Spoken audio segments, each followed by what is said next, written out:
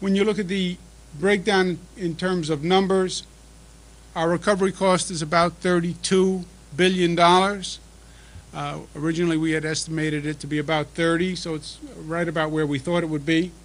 A prevention and mitigation package of about $9 billion for a total recovery of $41 billion. Hurricane Katrina got a lot of notoriety for the way government handled or mishandled, depending on your point of view, the situation.